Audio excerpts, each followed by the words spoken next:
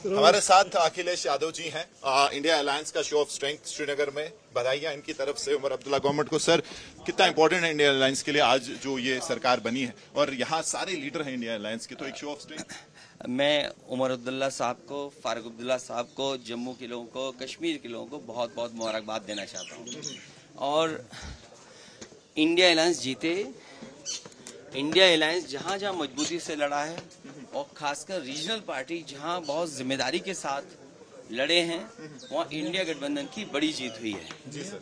तो अब बहुत महत्वपूर्ण दो इलेक्शन आ रहे हैं सर महाराष्ट्र में और उसके साथ झारखंड में। हरियाणा में थोड़ा सा जो है अगेंस्ट एक्सपेक्टेशन रिज़ल्ट आया है। तो कैसे देखते हैं आप इस इलेक्शन को और क्या प्लानिंग है इंडिया अलायंस की? हरियाणा का इलेक्शन एक लर्निंग इलेक्शन होना चाहिए। कि जो इलेक्शन ऐसा था कि जहाँ पर बीजेपी हार रही थी हारते हुए चुनाव को वो जीत गए। और क्या कारण रहा? वो विश्लेषण अलग है। हरियाणा से सीख लेके मुझे उम्मीद है महाराष्ट्र और झारखंड में इंडिया अलायंस लड़ेगा। और जीत हासिल होगी। सर आखिरी सवाल आपका क्या रोल है इन इलेक्शंस में समाजवादी पार्टी का? क्योंकि यूपी से जो वाइब्स निकलती हैं जो एक सेंटिमेंट निकलता है पूरे इंडिया में उसकी जो है। देखिए महाराष्ट्र में समाजवादी पार्टी पहले से हमारे एमएलए दो हैं। हमें उम्मीद है कि हम ज़्यादा एमएलए जीत जीतेंगे। झारखंड में भी पार्टी है लेकिन झारखंड में बहुत बड़ा संगठन नहीं है। लेकिन जो भी संगठन के तहत फैसला लेंगे हम चुनाव लड़ेंगे। बहुत बहुत शुक्रिया। इंडिया गठबंधन के साथ खड़े होंगे। थैंक यू थैंक यू तो ये थे अखिलेश यादव कहा इंडिया गठबंधन के साथ खड़े हैं।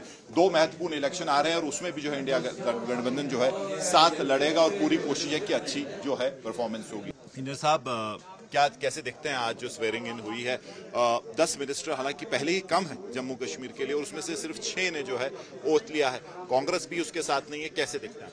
कोई बात नहीं उमर साहब ने हल्फ ले लिया हम उनको दुआएँ देंगे उनकी सक्सेस के लिए हम विश करेंगे।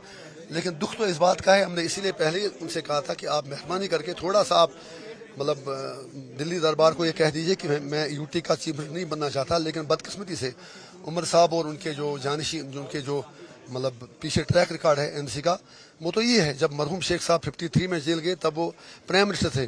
जब 75 में आए तो वो कांग्रेस लेजिस्लेशन पार्टी के लीडर बन के चीफ मिनिस्टर बन गए।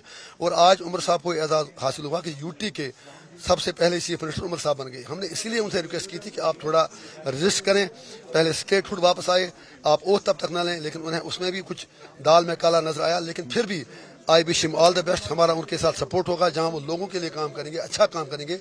एआईपी उनके पीछे खड़ी रहेगी और जहाँ हमें लगेगा कि लोगों के मफादात के खिलाफ बात हो रही है, वहाँ उनके खिलाफ खड़े रहेंगे। बहुत बहुत शुक्रिया नेशनल कॉन्फ्रेंस की बात करें तो कई ऐसे चेहरे हैं जिन्होंने काफ़ी जो है कि इनफैक्ट विक्ट्री हासिल की इन इलेक्शन में। लेकिन अगर जो बशीर अहमद वीरी हैं, जो बिजबिहारा से काफ़ी समय से जो नेशनल कॉन्फ्रेंस को रिप्रेजेंट कर रहे हैं, काफ़ी इलेक्शन लड़े बहुत क्लोज मार्जिन से कई बार हारे, लेकिन इस बार जो है, अगर एक डिसाइसिव जीत की बात करें तो इनको मिली इल्तजा मुफ्ती के खिलाफ पीडीपी, क्योंकि पीडीपी के लिए वो एक बैक ब्रेकिंग ब्लो था, और उससे जो है एक वर्चस्व बना नेशनल कॉन्फ्रेंस का, खासकर साउथ कश्मीर में। वीरी साहब, सबसे पहले बताइए कि आपकी जो जीत है, मैं जानता हूँ कि आप बहुत सालों से काफ़ी मेहनत की थी आपने बिजबिहारा में। इस बार क्या फैक्टर्स थे कि आपने फाइनली जो एक ब्रीच किया, जो पीडीपी का एक फैमिली बैचन स्ट्रॉन्ग बैचन कुछ भी आप कहें, सालों से पीडीपी जीत रही थी तो क्या फैक्टर्स आप गिनाएँगे दो तीन चीज़ें जो आपके लिए जिन्होंने काम सबसे पहले अल्लाह का करम था, दूसरा लोगों का वालहाना प्यार था, मोहब्बत थी। मैंने ये इलाका कभी नहीं छोड़ा। जब भी कहीं गम खुशी थी तो मैं लोगों के साथ जुड़ा रहा। चाहे सैलाब आए चाहे नेचुरल क्लामिटीज़ थी या मैन मेड इश्यूज़ हो जाते थे कन्फ्लिक्ट ड्रिवन सिचुएशन अराइज हो जाती थी तो मैं लोगों की तरफ़ रहता था लोगों के साथ रहता था जितना मैं कर सकता था मैंने किया।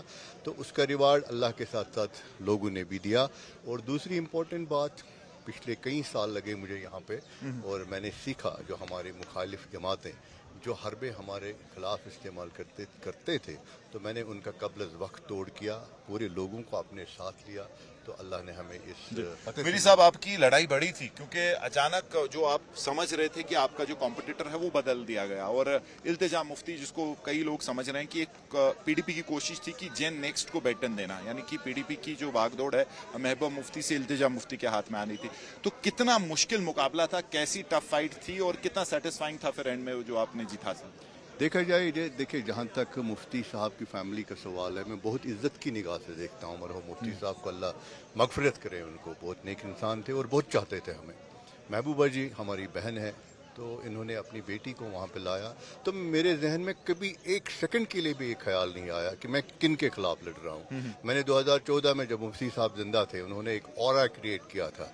उन्होंने कश्मीर में एक मतलब वेव क्रिएट की थी। तो उस वक्त मुझे बिजबाड़ा टाउन में तो इन्होंने एक थोड़ा सा गड़बड़ किया वहाँ पे बोगस वोटिंग कराया। तो मुझे कोई चौदह सौ वोट उससे रह गया और मैंने उस वक्त भी इक्कीस हज़ार वोट लिए जबकि एक वेव थी पीडीपी पीडीपी की। तो मैंने कभी ये नहीं सोचा कि मेरे सामने कौन है। बस मैं अपने टारगेट की तरफ़ बढ़ता रहा। मैंने कहा मुझे टारगेट अचीव करना है।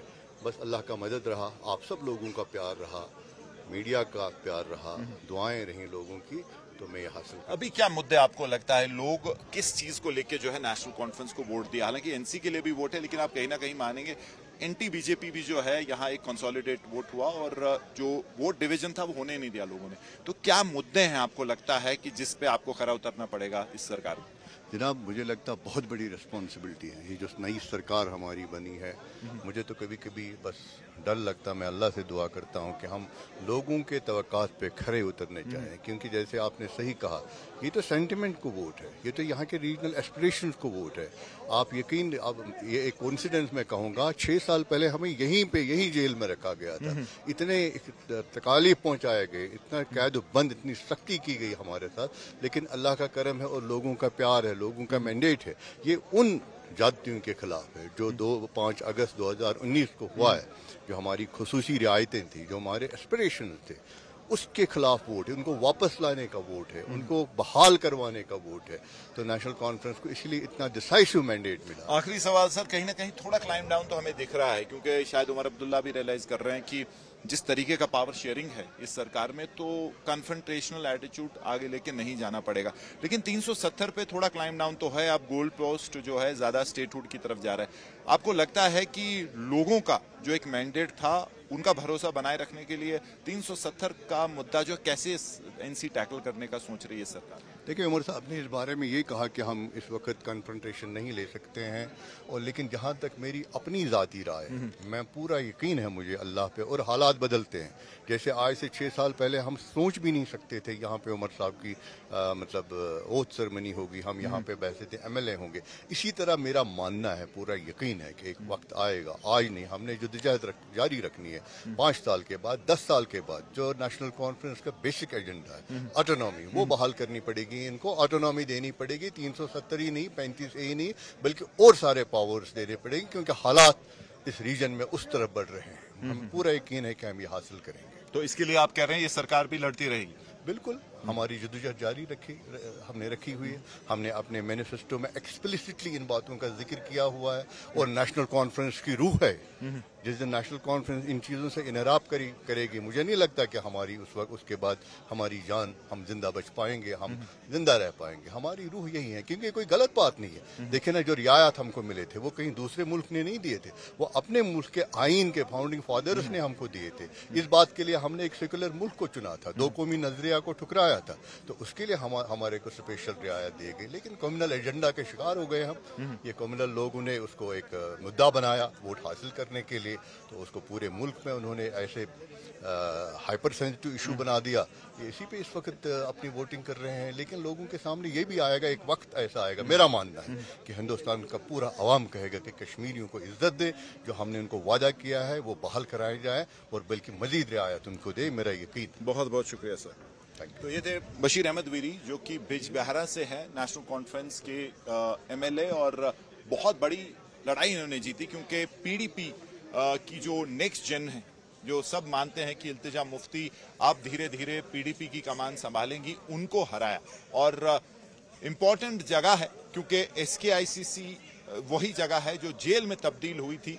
2019 में 370 हटने के बाद इन्हीं सारे लीडर्स को जो है यहाँ बंद रखा गया था। लेकिन ठीक छह साल के बाद इसी जगह पे उमर अब्दुल्ला सरकार ने जो है आज हल्फ लिया।